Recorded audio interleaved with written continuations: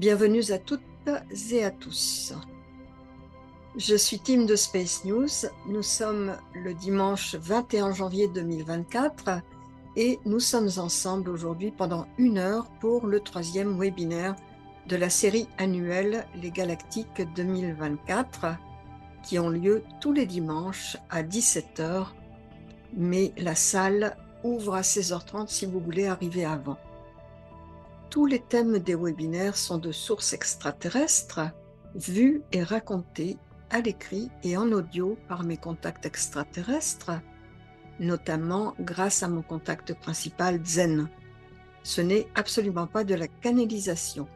J'ai enregistré mes conversations avec eux, aussi bien les conversations écrites que les conversations audio que je n'avais qu'avec Zen.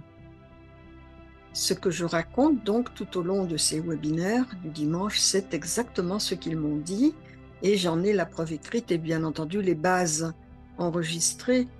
Le thème de la présentation d'aujourd'hui est l'Atlantide et la Lémurie racontée par d'anciens occupants extraterrestres. Comme je l'ai présenté dans les deux premiers webinaires, dans les temps anciens sur Terre, les bouleversements chaotiques et une grande partie des catastrophes mentionnées dans les textes historiques ne sont pas le résultat d'une collision avec une météorite ou avec une planète plus petite, mais les conséquences de guerres violentes entre différentes lignées extraterrestres. J'ai présenté ces guerres et leur impact sur les planètes de notre système solaire dans les webinaires 1 et 2. Mes contacts appellent ces guerres les guerres d'un million d'années. Il y a environ un million d'années terrestres, une puissante force d'invasion draco-reptilienne a envahi le voisinage de Vega, notamment les planètes Avalon et Lyra, où les peuples qui y étaient installés vivaient en paix et ne savaient pas du tout comment se défendre. Ils décidèrent donc de fuir pour se réinstaller n'importe où où il le pouvait, dans la constellation du Triangle, dans les Pléiades, mais aussi sur Terre. Cette migration est connue sous le nom de Grande Expansion de la Lyre. D'innombrables planètes dispersées dans ce cadran de la Voie lactée ont de ce fait vu apparaître des lyriens qui ressemblent aux terriens. C'est pourquoi beaucoup, beaucoup d'extraterrestres ressemblent à des humains les dracoreptiliens ont continué à chasser l'espèce humanoïde jusqu'aux limites extrêmes de l'extinction. C'est de cette nécessité de survivre qu'est née la Fédération galactique des mondes, qu'on appelle aussi l'UFOP, la Fédération unie des planètes, comme un moyen de se défendre contre l'invasion dracoreptilienne et contre l'extinction totale. Car certaines planètes avaient été tellement dévastées qu'il n'en restait plus qu'une poignée. Lorsque les Lyriens arrivèrent sur Terre entre moins 50 000 et moins 40 000 ans, ils y construisirent une première colonie qui s'appelait Lyria Gaia.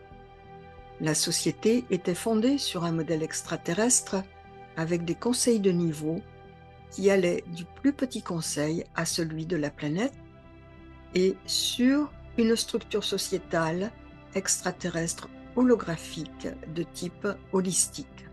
Ils utilisaient l'énergie libre et comme ils avaient des technologies avancées, bien entendu, ils les ont implantées là où ils vivaient. Ils avaient leurs propres valeurs basées sur leurs croyances et leurs connaissances spatiales et cosmiques. C'est la raison pour laquelle il y a des systèmes stellaires taillés dans la pierre, dans des grottes, qu'il était impossible aux antécesseurs aux Néandertaliens ou aux Dénisoviens de l'époque de connaître. Ils avaient construit des cosmoports pour faciliter l'atterrissage de leurs vaisseaux et les autochtones, les proto-humains qui avaient été implantés avant l'arrivée des Lyriens, les considéraient comme des dieux qui pouvaient ascensionner dans les airs, voler, se déplacer et construire des pyramides avec des moyens qu'ils ne connaissaient pas du tout et qui les observaient avec peur et étonnement.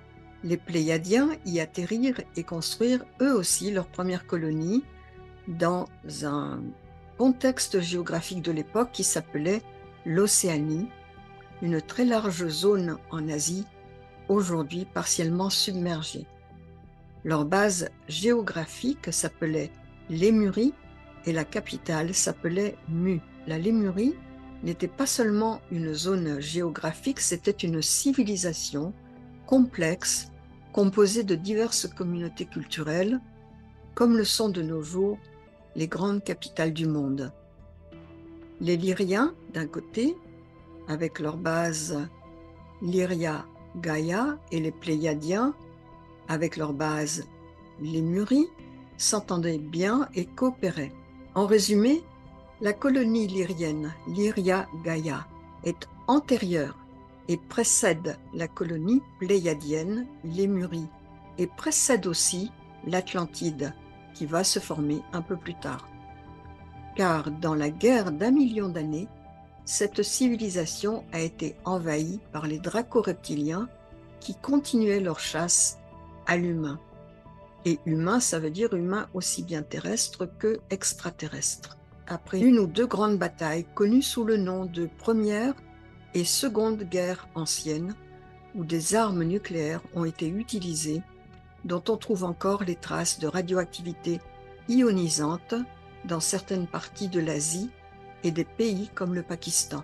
Parmi les races présentes sur Terre, lorsque l'Iria Gaia a été envahie, il y avait les Pléiadiens de Céléano, des Pléiadiens de Téget et des colonies d'Andromédiens dans la région qui est aujourd'hui l'Inde et le Pakistan.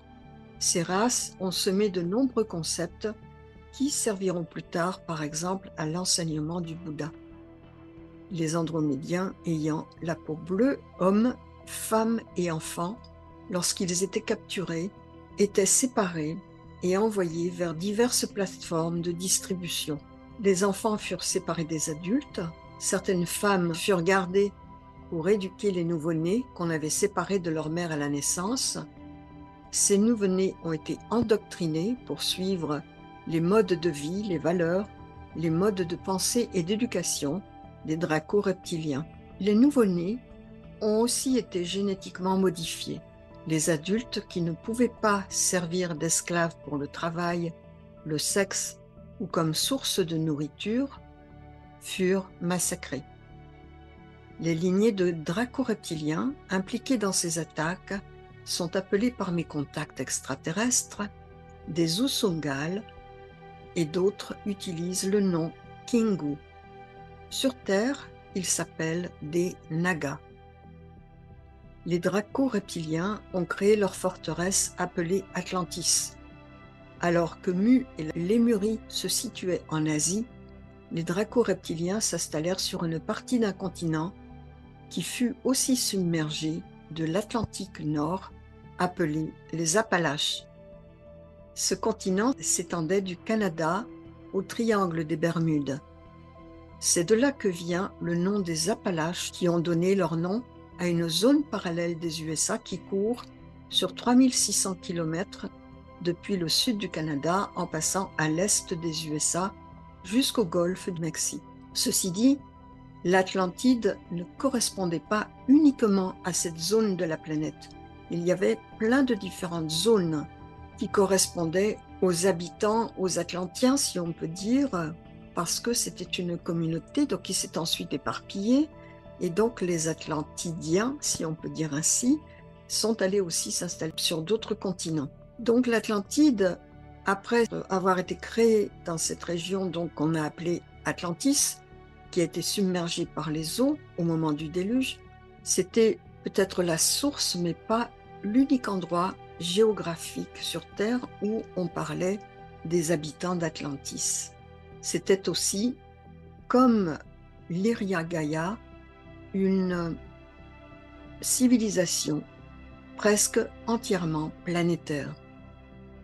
L'Atlantide est la civilisation reptilienne coexistant avec la Lémurie. Un certain temps, il y eut des échanges entre la Lémurie et Tiamat, dont j'ai parlé aussi dans mes deux premiers webinaires. Les populations d'Atlantis coopéraient avec les colonies de l'Iriagaya et les colonies de la Lémurie. La seule partie de cette ancienne civilisation planétaire qui continuait à se battre contre les envahisseurs, contre la colonie d'Atlantis, était la Lémurie, donc les Pléiadiens, car elle seule possédait suffisamment de ressources et de moyens de défense pour s'opposer à eux.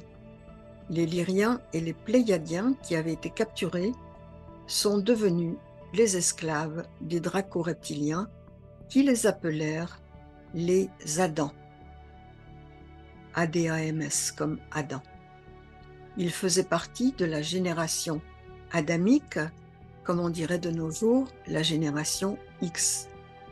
Cela se référait aux Lyriens et aux Pléiadiens capturés et à leurs descendants, car cette phase a duré plusieurs générations, jusque en 12 500 de notre ère. Ainsi naquit une nouvelle race d'humains esclaves éduqués à la mode draco-reptilienne qui s'appelait les Adams ou race adamique. Les draco-reptiliens envahisseurs, en utilisant leur propre ADN pour améliorer un animal, par exemple un crocodile, ont créé une nouvelle lignée de reptiliens qui vit encore de nos jours dans des bases souterraines et qui sont devenus indigènes, c'est-à-dire que leur planète, c'est la Terre. Cette race de reptiliens terrestres est toujours asservie par leurs maîtres les draco-reptiliens de l'espace. Et ils ont réalisé ceci avant la désintégration de Tiamat et juste avant le déluge, et a continué à vivre sous terre, et ce sont eux qui font toutes les corvées pour les draco-reptiliens suprêmes qui vivent dans l'espace, dans des vaisseaux spatiaux, autour de divers systèmes stellaires de Saturne ou de Jupiter. Par deux fois, les draco-reptiliens, les maîtres, ont essayé de transformer les humains lyriens, mais leurs tentatives n'ont pas fonctionné parce que les humanoïdes lyriens, de structure humaine comme nous, ont tous un lien spirituel très fort et s'ils suppriment un gène, au bout de quelques générations, ce gène va revenir. Ils ont donc décidé de ne plus essayer d'altérer génétiquement les humains de la race adamique. Dans l'Ancien Testament, vous devez comprendre que lorsque on nomme Adam comme le nom d'une personne, ça doit être interprété comme un peuple et non en tant qu'individu. Les Adams sont la race d'esclaves adamiques, la civilisation de l'Atlantide dont on parle dans l'Ancien Testament. Adam est un personnage de la Bible et du Coran, il est mentionné dans le livre de la Genèse qui fonde les croyances chrétiennes, musulmanes et juives. Il est le premier homme au sens d'être humain, créé par Dieu, donc Dieu étant évidemment les draco-reptiliens, hein, ça n'est pas Dieu au sens où vous, vous l'entendez, et c'était non pas un seul individu, mais une lignée de la race adamique. Donc les membres de cette lignée, les humains de cette lignée, meurent à 930 ans. Ça apparaît dans la Genèse, ce n'est pas une personne, mais toute une catégorie d'humains descendants des Lyriens et des Pléiadiens, tous ensemble appelés la race adamique. Dans la Genèse 2.72, il est dit Elohim forma AHA, Adam, poussière de HA, Adama, ce qui veut dire littéralement le terreux, le glaiseux.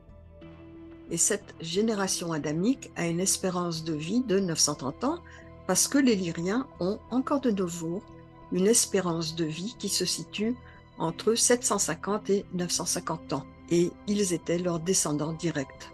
Et par conséquent, nous aussi, nous sommes les descendants directs de ces deux grandes lignées, de ces deux colonies de ces trois colonies qui ont commencé à habiter sur Terre, qui sont arrivées après les proto-humains, c'est-à-dire toutes les premières lignées d'humains terriens d'origine terrienne qui ont été implantés ici par les étortants et qui sont devenus par la suite les Néandertaliens, les Denisouviens et les antécesseurs, et qui sont maintenant l'Homo sapiens sapiens, l'être humain moderne. Ma présentation est terminée. Le prochain webinaire numéro 4 du 28 janvier aura pour thème le déluge vécu par des extraterrestres qui vivaient sur Terre à cette époque.